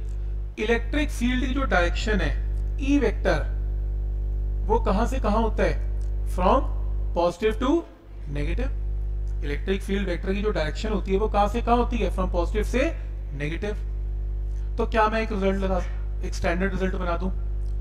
क्या? कि positive charge always experiences a force a positive charge always experiences a force in the direction of electric field. Electric field अगर इधर है तो पॉजिटिव चार्ज अगर रखा जाएगा, वो फोर्स इधर ही एक्सपीरियंस करेगा। And negative charge will experience a force in the direction opposite to the electric field तो जब कोई इलेक्ट्रिक फ़ील्ड प्रेजेंट है इस तरफ़ पॉजिटिव चार्ज को आपने रखा तो पॉजिटिव चार्ज इलेक्ट्रिक फ़ील्ड की तरफ़ जाएगा। नेगेटिव चार्ज को रखा तो वो इलेक्ट्रिक फ़ील्ड के हमेशा ऑपोजिट ही फोर्स एक्सपीरियंस करेगा। क्या स्टैंडर्ड रिज़ल्ट क्लियर है? तो आपको ना बहुत सारे ऐसे क्वेश्चन आएँगे, जैसे इलेक्ट्रिक फ़ील्ड प्रेजेंट है, हमने इलेक्ट्रिक फ़ील्ड में मान लो इलेक्ट्रिक फ़ील्ड राइट की तरफ़ प्रेजेंट था, जैसे इसमें प्रेजेंट है। हमने यहाँ पर इलेक्ट्रॉन रख दिया। इलेक्ट्रॉन बोलो कहाँ मूव करेगा? राइट की लेफ़्ट लेफ़्ट इलेक्ट्रिक फ़ील्ड क्या है? राइट इलेक्ट्रॉन के ऊपर चार्ज क्या होता है? नेगेटिव तो फोर्स का एक्सपीरियंस करेगा? लेफ़्ट कितनी करेगा? F is equal to Q और Q की जगह magnitude 1.6 point six into ten की पावर माइनस नाइनटीन और ऐसी क्वेश्चन आएगा, अगर मैंने प्रोटॉन रख दिया तो प्रोटॉन पॉजिटिव चार्ज है इलेक्ट्रिक फ़ील्ड के अलोंग फोर्स एक्सपीरियंस करेगा। कितनी करेगा? ये भी सेम करेगा। फोर्स दोनों सेम करेंगे, क्योंकि चार्ज दोनों पे एग्जैक्टली exactly सेम होता है। बट एक पॉजिटिव चार्ज एक्सपीरियंस करेगा along direction of field negative करेगा opposite to the applied electric field क्या ये पॉइंट क्लियर है? ऑनलाइन वालों को क्लियर है रिज़ल्ट यस सर प्रोटॉन का चार्ज रखेंगे वहाँ। आपको क्या लगता है कि अगर मैं यहाँ ये पॉजिटिव है। क्या क्या लगता है? नेगेटिव प्लेट खींचेगी कि पॉजिटिव खींचेगी? बिल्कुल। ये तो मतलब बिल्कुल ही बेसिक है कि जिसमें पॉजिटिव चार्ज है वो नेगेटिव की तरफ़ ही मूव करेगा और नेगेटिव पॉजिटिव मूव करेगा। हाँ वो एक क्योंकि हमें ना क्वेश्चन के अंदर क्या होगा? ये तो आपको मैं दिखा रहा हूँ पॉजिटिव नेगेटिव ये तो मैं दिखा रहा हूँ। वो दिखाएगा थोड़ी ना पेपर वाला। पेपर में ये कहा होगा, ये इलेक्ट्रिक फ़ील्ड है। ये बोलो इलेक्ट्रॉन है। कहा मूव करेगा? राइट की लेफ़्ट लेफ़्ट तो ये लेफ़्ट मूव करेगा। प्रोटोन का मूव करेगा? राइट ऐसे चेक करना होता है।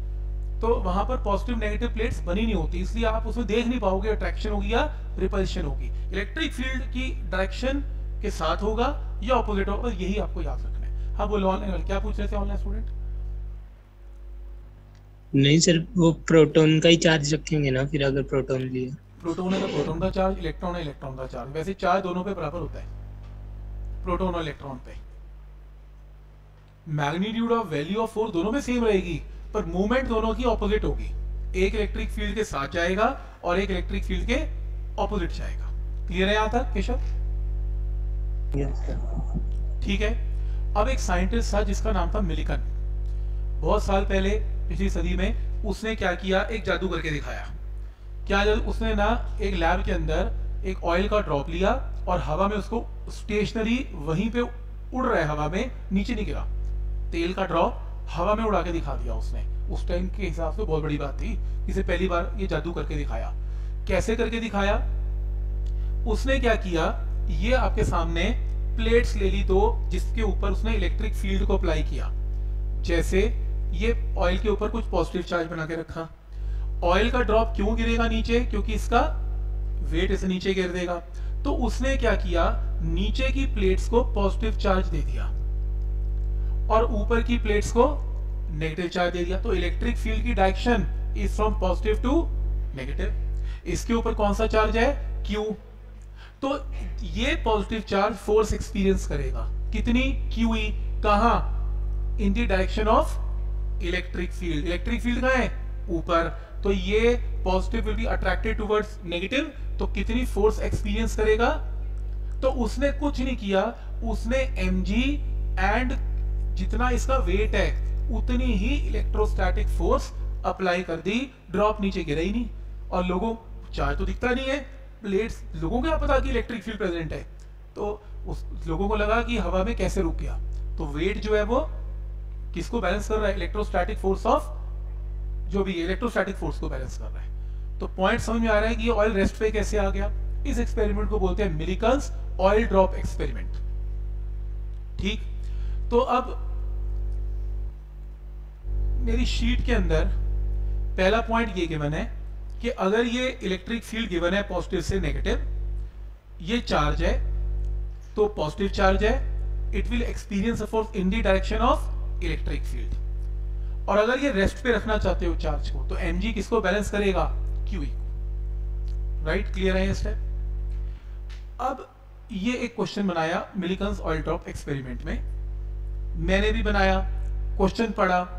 मेरे से डायग्राम में कुछ गलती हो गई। आप क्वेश्चन पढ़ें और मुझे बताएँ मेरे से क्या गलती हुई। फोर्स की डायरेक्शन ओके क्या होनी चाहिए? क्यों होनी चाहिए? तो नेगेटिव चार्ज है। ओके उसको कैसे करेक्ट कर सकते हैं? अब अगर आप मिलिकन होते और उसको उड़ाना है आपको हवा में प्लेट्स को उल्टा कर देते। बिल्कुल सही है। देखो अच्छा प्लीज़ बाकी लोग क्वेश्चन पढ़ लें अभी, एक मिनट एक मिनट पहले एक मिनट क्वेश्चन पढ़ लेते लोगों को यार मुझे पता नहीं तुमने पहले पढ़ रखा है, बड़ी जल्दी जल्दी आंसर सा दे दिया तुमने यार। पढ़ के, अभी भी नहीं किया? अच्छा पढ़ लिया था आपने इतनी देर, ठीक है, करो।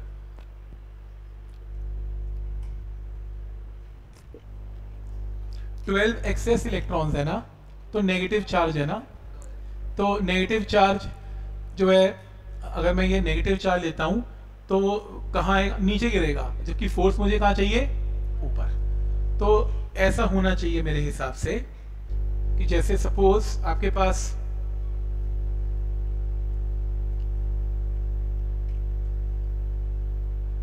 आपके पास कोई भी इलेक्ट्रिक फ़ील्ड है, मान लो इलेक्ट्रिक फ़ील्ड कहाँ पर है? इलेक्ट्रिक फ़ील्ड ऐसे डेवलप करते हैं। ये दो प्लेट्स हैं और ये चार्ज है। क्यू? और वो कह रहा है कि इसमें 12 एक्सेस इलेक्ट्रॉन्स का चार्ज है। तो बोलो इसके ऊपर कितना चार्ज है? Q is equal to N E quantization याद है? 12 इलेक्ट्रॉन पे ये चार्ज होगा। और कौन सा नेचर का होगा? नेगेटिव तो इसके ऊपर कौन सा चार्ज है? नेगेटिव ये स्टेप क्लियर है? अगर मैं क्वेश्चन में बोलूँ कि 12 एक्सेस इलेक्ट्रॉन्स का चार्ज है तो 12 एक्सेस का मतलब फालतू इलेक्ट्रॉन है नेगेटिव चार्ज है। तो ये बनेगा। और इसका वेट क्या है? नीचे। आप बस मुझे ये बताओ कि प्लेट्स के ऊपर क्या चार्ज रखूँ? नीचे की प्लेट पे क्या चार्ज रखूँ कि इसके ऊपर फोर्स कहाँ लगे? ऊपर। तो ऊपर कब लगेगी? जब नीचे की प्लेट क्या होगी? नेगेटिव की पॉजिटिव नेगेटिव क्यों? क्योंकि नेगेटिव प्लेट इस नेगेटिव को क्या करेगा? रिपेल तो ये प्लेट क्या होगी? तो मेरे असाइनमेंट में उल्टा हो गया। मैंने ये नेगेटिव कर दिया, ये पॉजिटिव कर दिया। आप प्लीज़ उल्टा कर लेना, ये नेगेटिव और ये पॉजिटिव अब सही है एकदम? और वैसे भी इलेक्ट्रिक फ़ील्ड कहाँ पर है? नीचे है। और नेगेटिव चार्ज फोर्स का एक्सपीरियंस करेगा? इलेक्ट्रिक फ़ील्ड के ऑपोजिट रूल बताया था ना? उसके ऑपोजिट क्लियर है यहाँ तक?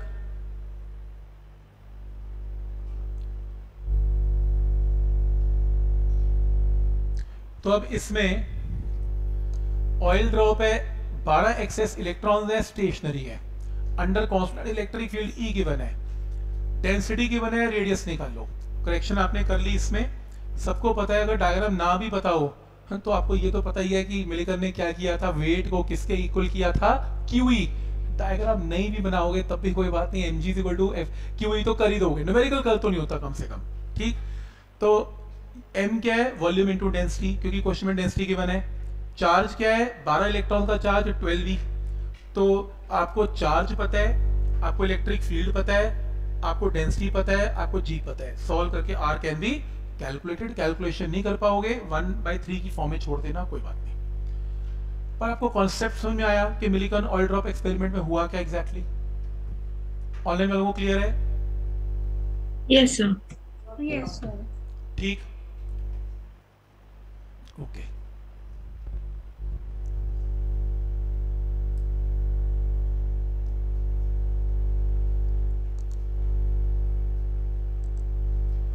इलेक्ट्रिक फ़ील्ड इतना ही है। दो क्वेश्चन ना फोर्स के पेंडिंग थे मेरे। सब्जेक्टिव शीट टू के। जो सब्जेक्टिव शीट टू थी ना, आपको मैंने दी थी दी थी। ये थी। जो एक क्वेश्चन तो लास्ट टाइम इक्विलिब्रियम वाला किया था हमने वाला। सब्जेक्टिव शीट टू ये भी कर लिया था लास्ट टाइम ये भी बताया था शेयरिंग यहाँ से करना है, ये करना है। An infinite infinite number of charges. Each equal to, infinite charges हैं।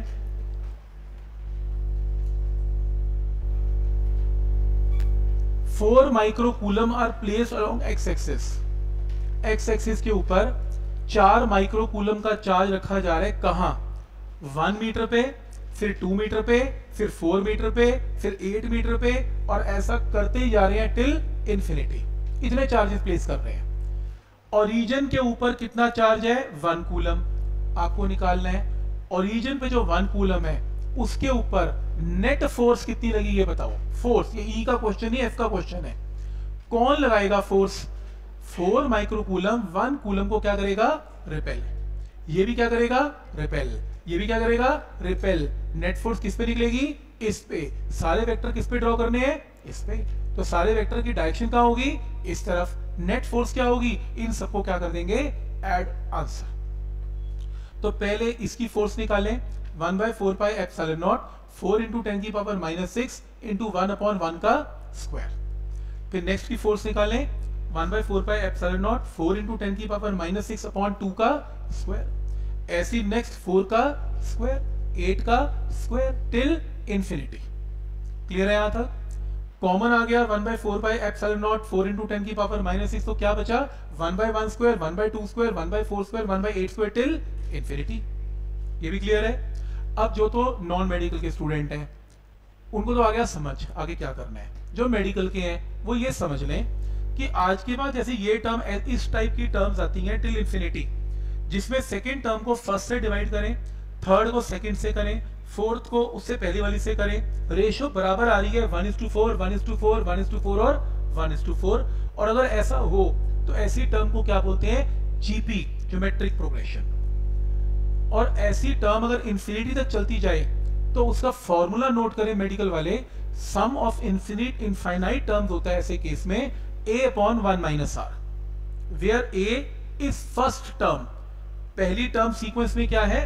वन और R is ratio common ratio हर दो टर्म को डिवाइड करके रेशियो क्या आ रही है? फोर तो अब इस केस में ए कितना है यहाँ पर? वन पहली टर्म इज़ वन आर कितना है यहाँ पर? वन बाई फोर आंसर बाकी तो कोई करना ही नहीं इसमें कुछ भी। तो पॉइंट समझ में आ रहा है यहाँ तक? और स्पेशली मेडिकल वालों को समझ में आ रहा है? नॉन मेडिकल को तो दिक्कत है ही नहीं। जीपीएम करते ही उनको तो फ़र्क ही नहीं पड़ रहा। क्लियर है यहाँ तक? कितने मेडिकल के? ठीक है समझ में आ रहा है? जीपी रिज़ल्ट नोट करना है आपने इसमें। मेडिकल वालों को कभी कभी यूज़ होता है पर ऐसा नहीं कि होता नहीं नीट में हो सकता है। ठीक? तो ये सीखना पड़ेगा। सर किसमें कंपटीशन में? आएगा एनसीईआरटी में नहीं आएगा। ये शीट एनसीईआरटी की है ही नहीं। सर मैं कह रहा हूँ कॉमन रेशियो कैसे निकाला क्या किया थोड़ा बोलो। सर उस वाले क्वेश्चन में आपने कॉमन रेशियो 4 4 कैसे निकाला? फोर्थ। ये ना यही पूछ रहे हो ना?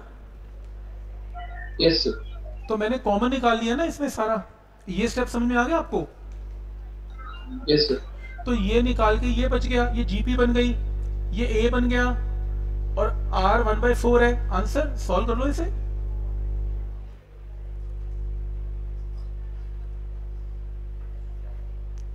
ठीक है ना? सर आर कैसे निकाला? सर मैं आर अच्छा आर निकालने के लिए किन्हीं भी दो टर्म्स को डिवाइड कर दो। इसको इससे डिवाइड करो। वन इज़ टू फोर चलो इसको इससे डिवाइड करो। वन इज़ टू फोर ठीक? एक क्वेश्चन है। वो कह रहे two identically charge particles spring के कॉर्नर पे लगा दिए Q and Q spring constant given है 100 और ये अनस्ट्रेच लेंथ है स्प्रिंग अभी एक्सपैंड नहीं हुआ, इसकी नेचुरल लेंथ एल कितनी है? वन है। आपने छोड़ दिया। क्यू एंड क्यू ने एक दूसरे को क्या किया? रिपेल किया। रिपेल करके ये कॉर्नर पे आ गए इक्विलिब्रियम में आ गए और स्प्रिंग एक्सपैंड हो गया। कितना बाय एक्स तो स्प्रिंग की नई लेंथ कितनी हो गई? वन प्लस एक्स क्लियर है? तो अगर इस मास की बात करते हो या इस पॉइंट की बात करते हो, इस चार्ज की बात करते हो तो इस चार्ज ने इस चार्ज को रिपेल किया और स्प्रिंग के अंदर रिस्टोरिंग फोर्स कितनी डेवलप हुई? के सेम डायग्राम इस चार्ज की भी सेम स्टोरी इस चार्ज ने इस चार्ज को रिपेल किया रिस्टोरिंग फोर्स के एक्स आप कोई भी एक चार्ज ले लो इक्विलिब्रियम है तो इक्विलिब्रियम में मस्ट बी इक्वल टू रुक गया ना और आपको ये बताना है कि एक्स की वैल्यू कितनी है इसमें? तो जब ये रुक गया इक्विलिब्रियम में तो ये जो फोर्स है, कौन सी? इलेक्ट्रोस्टैटिक फोर्स इलेक्ट्रोस्टैटिक फोर्स की वैल्यू कितनी है इसमें? इलेक्ट्रोस्टैटिक फोर्स की वैल्यू है four pi epsilon naught Q into Q upon one plus X का whole square is equal to कितना? के एक्स अब आपको इस क्वेश्चन में क्या निकालना है? एक्स आपको ये पता है, आपको ये भी पता है, आपको ये भी पता है। अब सॉल्व करना मुश्किल है। क्वाड्रेटिक है, फिर मल्टीप्लाई करोगे। उसने एक line the assuming that extension is small extension क्या होती है? X as compare to natural length यानी कि x छोटा है एज कंपेयर टू l. तो x छोटा है एज कंपेयर टू l. तो अब सोचो आपको पता लग गया होगा कि l वन है, x छोटा है। तो अप्रोक्सीमेटली कैन बी यहाँ पे यहाँ ना करना सिर्फ़ यहीं पर। डिनोमिनेटर में जब वन प्लस समथिंग तो वन बड़ा है एक्स छोटा है। निग्लेक्टेड तो यहाँ से आपकी कैलकुलेशन इजी हो गई। One by four pi epsilon naught Q square divided by one बच जाएगा। Is equal to K X X निकाल लेना, सारी वैल्यूज़ गिवन है। वो इसीलिए उसने गिवन दी हुई है ताकि आपकी कैलकुलेशन थोड़ी सी इजी हो जाए। ऑनलाइन वालों को क्लियर है? समझ में आ रहा है कि लॉजिक है? ठीक है? और एक क्वेश्चन क्या लिखा हुआ है फॉर नॉन मेडिकल मेडिकल वाले रिलैक्स हो जाए। मेडिकल वाले सिर्फ़ यहाँ तक देखेंगे दो स्टेप फिर नॉन मेडिकल वाले आराम से देखें बैठ के। मेडिकल में नहीं आएगा बिल्कुल। एनसीआरटी में भी नहीं आएगा। क्वेश्चन ये है, दो पार्टिकल्स हैं, दो पार्टिकल्स हैं।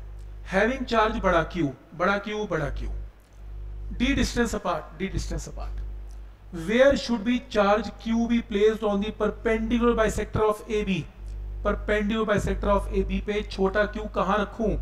यानी कि मुझे क्या निकालना है? X कहाँ रखूँगा मतलब क्या निकालना है? X निकालना है। ताकि ये चार्ज क्या फोर्स एक्सपीरियंस करे? मैक्सिमम। चलो यार, मैक्सिमम फोर्स तो बाद की बात है। आप बस ये बताओ कि कितनी फोर्स एक्सपीरियंस करेगा। मैक्सिमम तो बाद में निकाल लेंगे। अगर मैं सिर्फ़ ये पूछूँ कितनी फोर्स लग रही है, ऐसा क्वेश्चन तो आज इलेक्ट्रो इलेक्ट्रिक फ़ील्ड में भी किया फोर्स में कई क्वेश्चन किए, कि ये छोटा क्यू, ये बड़ा क्यू, ये बड़ा क्यू? सबको पता है कि ये कैपिटल क्यू? इस क्यू को क्या करेगा? रिपेल ये कैपिटल क्यू भी इस क्यू को क्या करेगा? रिपेल ये एंगल थीटा ये angle theta theta theta corresponding theta theta corresponding सही है? ठीक है यहाँ तक? नेक्स्ट इस f के दो कंपोनेंट्स बनेंगे। f cos theta f sin theta इसके भी दो components f cos theta f sin theta ये आपस में क्या हो गया? तो नेट फोर्स कितनी आ गई? 2f sin थीटा क्या ये पॉइंट सबको क्लियर है? अब तो कई बार कर लिया ऐसे क्वेश्चन हमने। ऑनलाइन वालों को क्लियर है? Yes, sir. ठीक? अच्छा f की वैल्यू बता दो क्या होगी? One by four pi epsilon naught q into छोटा q अपॉन इसका स्क्वायर और ये कैसे आया? ये x है ये d बाई टू है. तो पाइथागोरस से डिस्टेंस आ गया। तो one by four pi epsilon naught q into छोटा क्यू बाई इसका स्क्वायर ये एंड साइन थीटा तो यहाँ से साइन थीटा की वैल्यू निकाल लो. X अपॉन दिस डिस्टेंस ये पुट कर दिया. ठीक है? तो फोर्स पुट कर दी साइन थीटा भी पुट कर दिया। यहाँ तक कोई डाउट ये क्लियर है? यशिका? डाउट है? सना ये दो चार्ज का डिस्टेंस अपने आधा लिया है। ये D by two D by two है ना? क्योंकि अपने को एक्स पता है डी बाई टू तो ये साइड चाहिए तो आधा चाहिए होगा ना? इसलिए। ठीक है, यहाँ तक? तो फोर्स तक तो सब क्लियर है, इसको मल्टीप्लाई करोगे तो ये आ जाएगा। यहाँ तक तो कोई दिक्कत नहीं है। अब ये मेडिकल वाला यहीं तक सफिशियंट है, बस ठीक है डन हो गया। अब क्वेश्चन ये है कि आपको फोर्स नहीं निकालनी, आपको तो मैक्सिमम फोर्स निकालनी है। और मैंने कई लोगों ने वीडियो में से मांगा था मैक्सिमम मिनिमा का। मैंने दिया भी था, सुन लेना। तो मैक्सिमम मिनिमा का रूल आ गया। हमने किया था, अब जो लोग सुन के आए हैं, उनको और आइडिया होगा कि कैसे करना है। तो मैथ्स के लोगों को टेंशन की ज़रूरत नहीं है इतनी। कैलकुलस आने वाले आपके मैथ्स में प्लस टू में खूब ज़बरदस्त तरीके से, जिसमें मैक्सिमम मिनिमा बहुत डिटेल में मैथ के टीचर करवाएँगे। तो ये स्टेप आपको अपने आप समझ में आएँगे कैसे करने हैं। मेडिकल में आएगा नहीं तो उनको वैसे टेंशन नहीं नॉन मेडिकल को वैसे टेंशन नहीं। मैं तो खाम खाई करके दिखा रहा हूँ कि चलो जी, ऐसा होता है कि आपको समझ में आ जाएगा जब आप कैलकुलस सीख लेंगे। ठीक है? ताकि आपको पता होगी क्या करना है। तो मतलब इसमें फिजिक्स वालों को कोई रोल है नहीं। तो फिर भी, क्योंकि आपको एक्स निकालना है और फोर्स को मैक्सिमम करना है तो मैक्सिमम का रूल क्या कहता है? जिसको मैक्सिमम करना है, उसको डिफ्रेंशिएट कर दो। और विद रिस्पेक्ट टू क्या निकालना है? क्या निकालना है? एक्स इक्वल टू ज़ीरो तो ये मैंने फोर्स की वैल्यू लिखी और इसे क्या कर दिया? Differentiate equal to zero constant constant constant constant सब ज़ीरो से कैंसिल तो आपके पास ये दो टर्म बच गई बस। क्लियर है यहाँ तक? सब कांस्टेंट उड़ जाएँगे ज़ीरो से। दो टर्म की डिफ्रेंसिएशन रह गई। ये टर्म को मानो u, इस टर्म को मानो v याद है? V by u u by v का फॉर्मूला तो v into differentiation of u u into differentiation of v ये स्टेप भी क्लियर है। ठीक है? फिर ये जो डिनोमिनेटर देख रहे हो बड़ा सा, इसको लिखने की ज़रूरत क्या है? ये भी ज़ीरो से क्या हो जाएगा? कैंसल ये भी गया तो क्या बचा? ये term as it is dx by d क्या होता है? One x as it is इसकी डिफ्रेंसिएशन पावर क्या है? थ्री बाई टू एक n माइनस वन इसकी power three by two minus one into d by d x of x square plus d square by four ऐसी करते ना calculus में, याद है डिफ्रेंसिएशन तो ये डिफ्रेंसिएशन का स्टेप है, जिसको नहीं आती, कोई टेंशन है नॉन मेडिकल वाला मैथ्स के टीचर सिखा देंगे। जिसको जल्दी सीखनी है, मेरे को व्हाट्सएप कर दे। मैं आपको लॉगिन आईडी दे दूँगा प्लस वन का। आप वहाँ से दो लेक्चर सुन लेना, आपको सब समझ में आ जाएगा। कोई दिक्कत नहीं। ठीक? तो ये स्टेप क्लियर है। और लास्ट स्टेप है differentiation of first term differentiation of second term open कर दें इसे। कांस्टेंट की differentiation is zero x square की डिफरेंशिएशन इज़ टू एक्स तो इसे अगर आप सॉल्व करेंगे तो ये टर्म आएगी। कैंसिल करने पे ये टर्म आएगी। और फाइनली ये टर्म डिवाइडेड बाय ये टर्म करेंगे तो three by two minus half करेंगे तो आपके पास वन आएगा। मतलब सिंप्लीफाई करके आपके पास एक्स कैन बी कैलकुलेटेड तो ये इसलिए करवाया क्योंकि आप जो भी ऑब्जेक्टिव बुक करेंगे, चाहे एसएल भी करें, चाहे ऑब्जेक्टिव बुक भी करें, ये क्वेश्चन से आपका सामना होना ही है। तो आप ये ना कहें सर देखो मैक्सिमम फोर्स पूछ रहा है और हमने तो की नहीं मैक्सिमम फोर्स आप मुझसे कम से कम ये नहीं कहेंगे की नहीं, हमने की है। ठीक? तो एटलीस्ट आपको आइडिया है कि उस क्वेश्चन को कैसे आपने हैंडल करना है। और बुक्स के अंदर जिन्होंने बुक्स ट्राई करनी शुरू कर दी फोर्स का पहला चैप्टर इतना अजीबोगरीब तरीके से सॉल्व किया हुआ है। आपने अगर पढ़नी स्टार्ट कर दी होंगी, बड़े लंबे लंबे तरीके लगाता है वो वेक्टर सॉल्व करने के। बंदे को लगता है कि यार शायद मेरे को ना फोर्स आती नहीं होगी। आप प्लीज़ बिल्कुल उसका मेथड ना देखें। आप अपनी ही कैलकुलेशन करें, क्योंकि उसको पूरे को समझाना बड़ा मुश्किल है वेक्टर सम को तो बहुत लंबे लंबे सोल्यूशन बुक्स में गिवन है। तो आपको समझ में आते हैं, बड़ी अच्छी बात है, नहीं तो हमने कर ही लिए हैं तो आप प्लीज़ अपने बेसिक कॉन्सेप्ट को सही रखें और मेथड पे फोकस करें। ठीक है, यहाँ तक? तो इलेक्ट्रिक फ़ील्ड स्टार्ट है फोर्स के दो तीन न्यूमेरिकल और पेंडिंग भी है वैसे मेरे ऐसे ही दो दो करके निकाल दूँगा, कोई दिक्कत नहीं।